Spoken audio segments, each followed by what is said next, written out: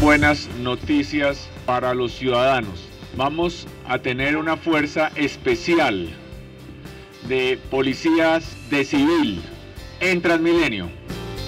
Nosotros desde el gobierno distrital lo que hacemos es un llamado a que sea un trabajo conjunto de la policía, de la fiscalía y del sistema judicial para que las personas que están afectando la seguridad ciudadana eh, tengan las penas que merecen.